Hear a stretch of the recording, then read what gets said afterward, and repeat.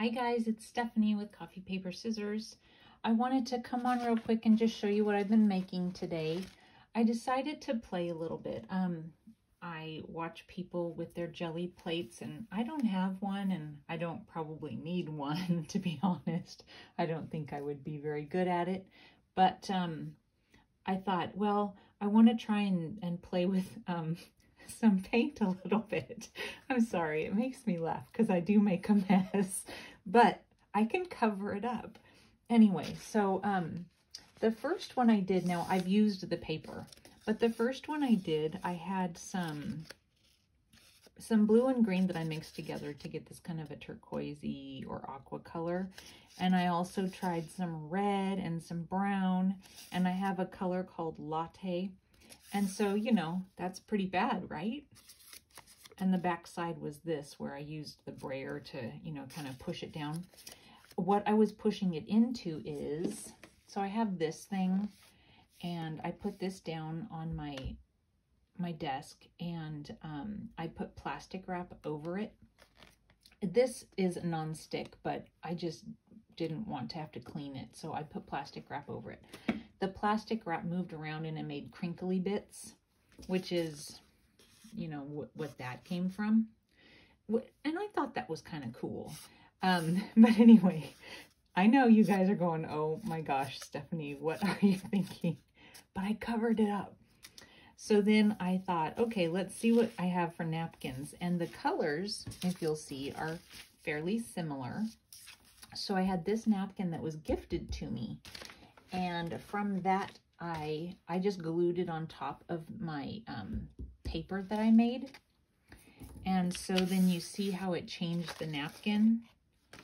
So all of those colors that were in here are what are showing um, where the white is. So I actually think even though this was really bad, it made this really good.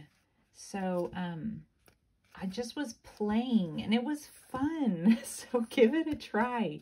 Even if what you come up with is really, you know, something you would never use, all of the sudden it I think it's pretty. So um I just stitched around and I did an off-centered little thumb hole. So I'm planning on this being a, a pocket, a side pocket. And then I added a little banner and I, I put some eyelets there on the side. So that's the first one. I made two. So then there's this one.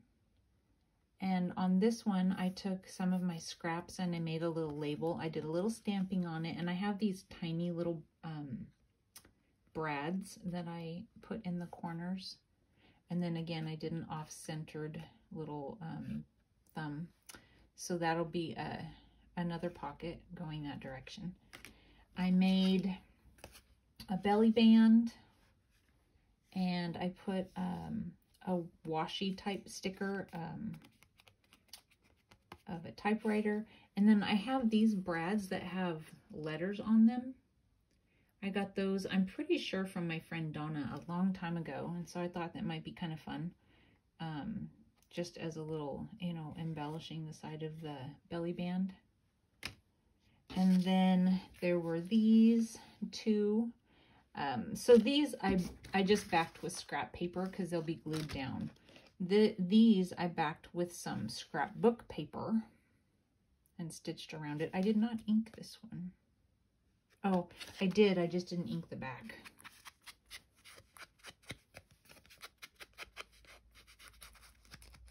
I mean, not much ink, a little bit of ink.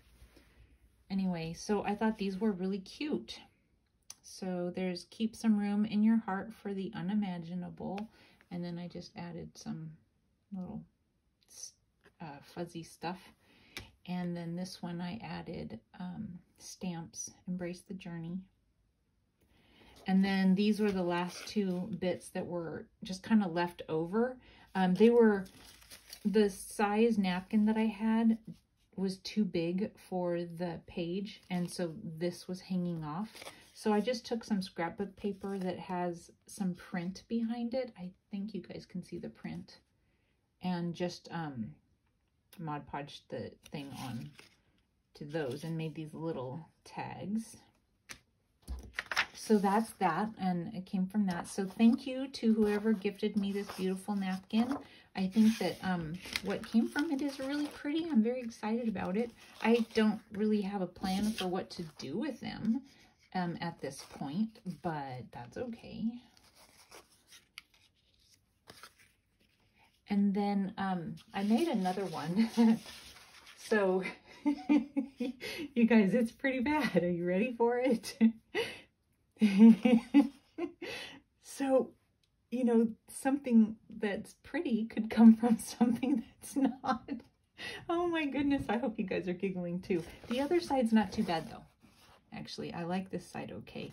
And I probably will end up cutting this up and making something from this, maybe. Because I don't mind this. And um, some really cool grungy tags could come from it.